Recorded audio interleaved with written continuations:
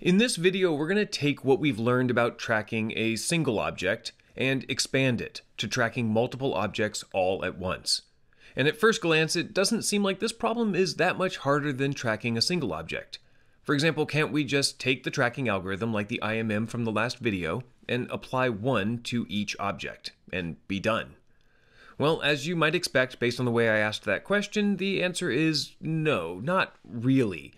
At least, there's some additional things we need to consider with multi-object tracking, and that's what we're going to talk about in this video. So I hope you stick around for it. I'm Brian, and welcome to a MATLAB Tech Talk. Now, I'm going to highlight a general outline so that you get an idea of how these problems can be solved. But by no means do I want you to think that there's only one way or one algorithm to get the job done every problem is different because, you know, they have things like different number of objects, or you have access to different measured data and information, or maybe different expectations on how close the objects will be to each other. And you're going to have different computational resources at your disposal, or different requirements on how accurate you need to be, and so on. There's a bunch. And in a way, figuring out how to tackle your particular problem is more of an art than a hard science.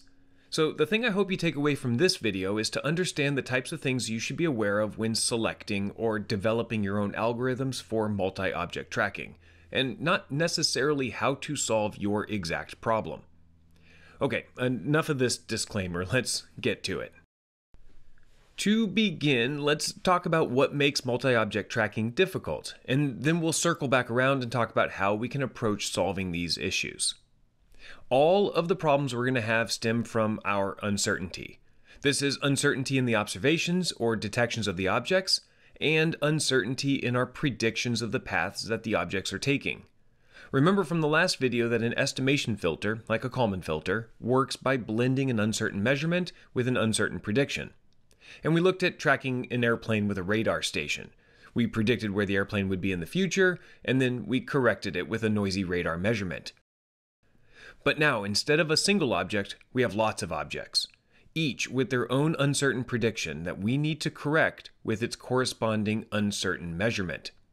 So already we come to our first problem. We don't want to correct a prediction of one object using the measurement of another. But if there's no identifying information that comes with the detection, like an airplane tail number or some other unique signature, how do we know which object we've just detected?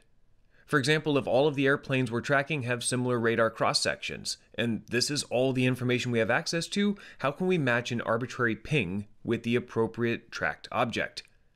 Now, this isn't too much of a problem if all of the objects are sparsely distributed and the observations are relatively reliable. It would be a simple matter to claim that an observation is of the object that it's closest to. In this case, we would just assign the measurement to the nearest object and run the estimation filter for it like we would when tracking a single object. The tricky part, however, comes when objects are close enough to each other, or our uncertainty is great enough that a measurement could be of more than one object. Now we have some figuring out to do, and this is the data association problem. We have to associate the detections with the right objects. All right, so that's one problem. But another thing we need to consider is that the number of objects being tracked is not fixed. Sometimes tracks need to be created or removed based on what we observe. We may add a new track when an airplane flies into the radar range, and similarly, we may delete a track when one flies out. Now, this creation and deletion doesn't just happen along the edge of the field of view of the sensors. We may have to create and delete tracks anywhere. For example, an airplane may land or take off within the radar range. So we need to think about the criteria for creating and deleting object tracks.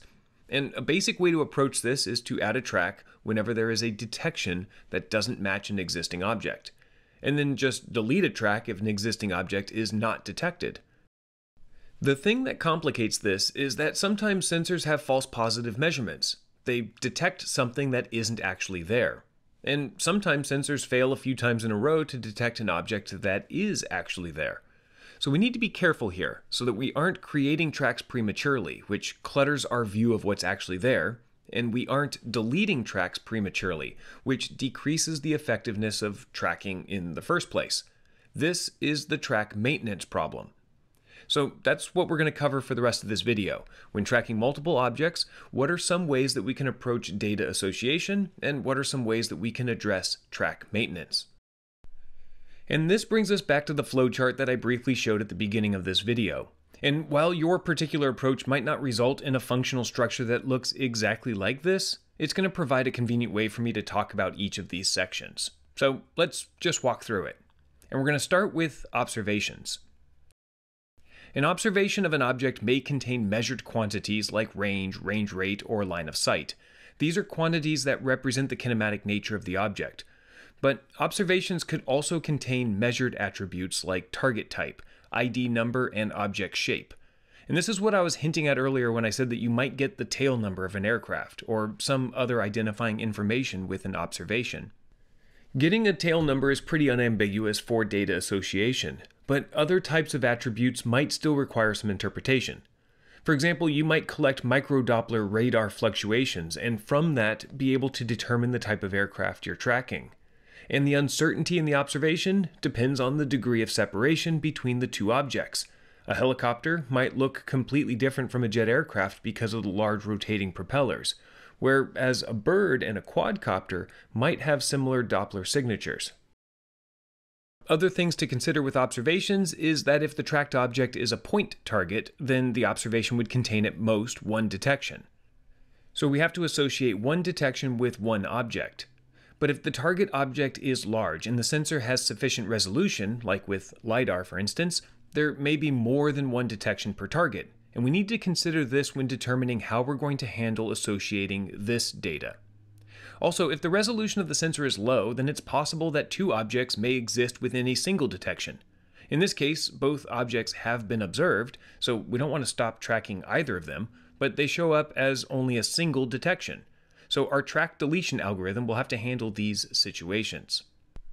Going forward in this video, we're only going to be talking about the case where we expect one detection for each tracked object. And where this is handled is in the assignment step, which is next. Assignment is the process of matching an observation to a tracked object. Or if you're into the whole brevity thing, it's matching it to a track. And possibly the simplest assignment algorithm to think about is the GNN, the global nearest neighbor. This simply assigns a track to the nearest observation. But the interesting thing here is that it's not necessarily the nearest Euclidean or geometric distance, but the nearest probabilistic distance like you get with the Mahalanobis distance. And here's why. With a probability distribution like we have with both our predictions and our measurements, the lowest Euclidean distance doesn't always indicate that a prediction and a measurement are the best fit. This is because we have more confidence in our predictions and measurements in the directions with lower standard deviations.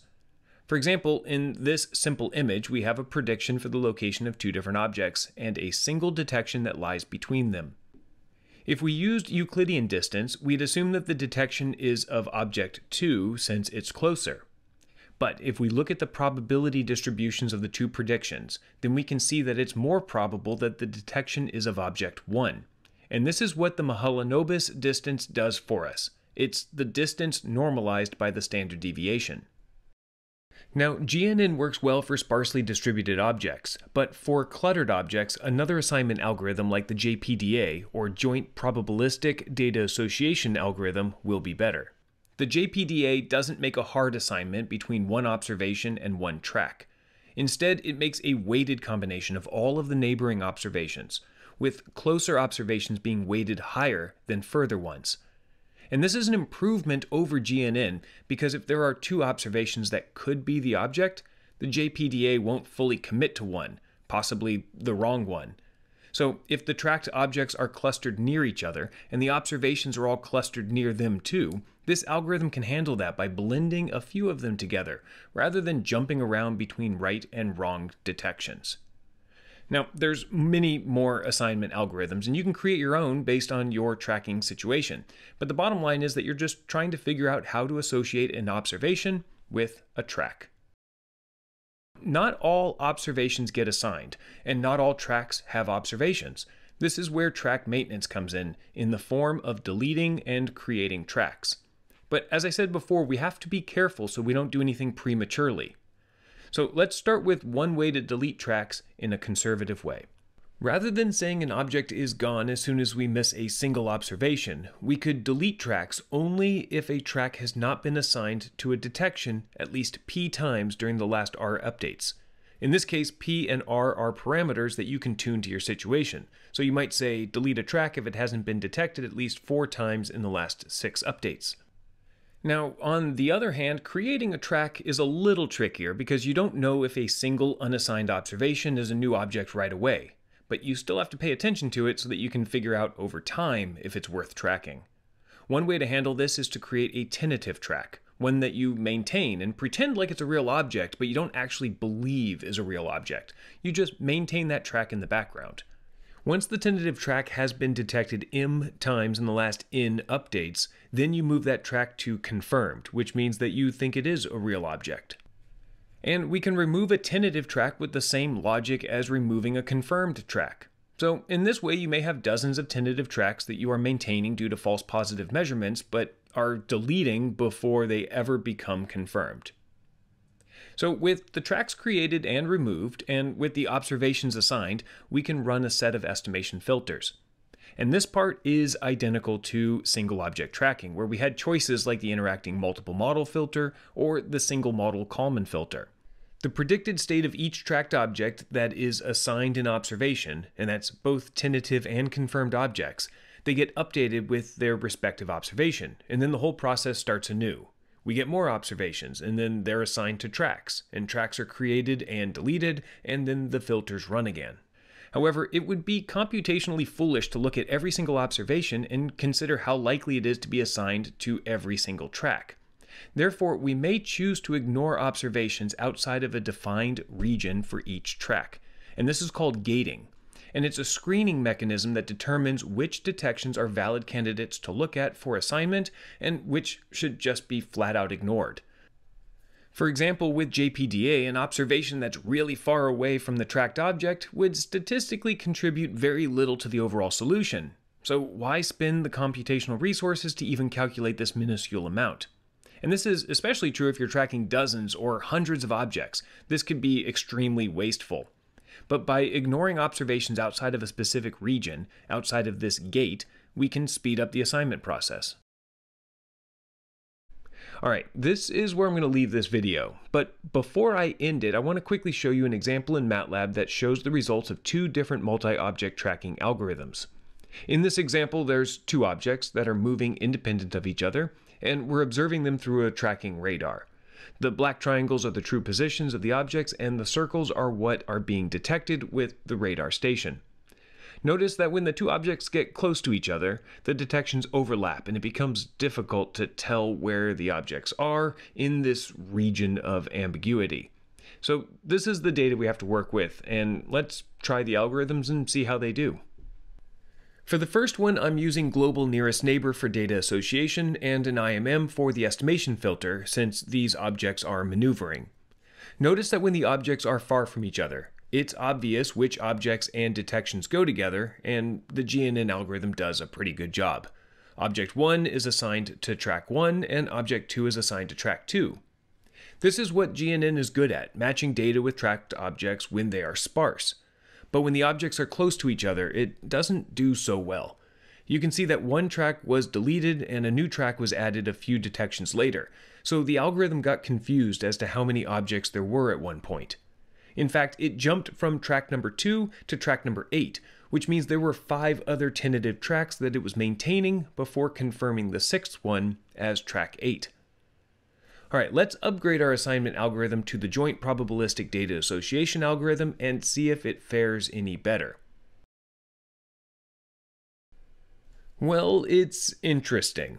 The two tracks are maintained through the whole maneuver, but in the region of ambiguity, there's still a lot more error than anywhere else. But this is to be expected since the data overlaps in this region so much. It's amazing that these algorithms can pull anything out from a situation like this.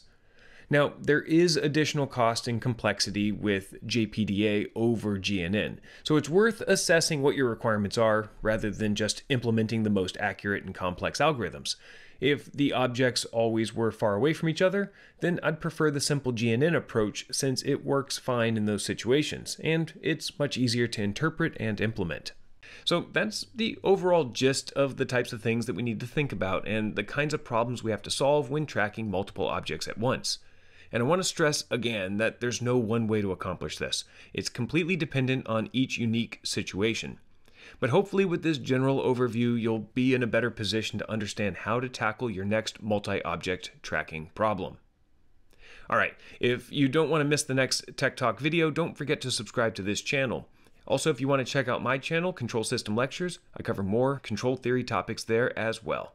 Thanks for watching, and I'll see you next time.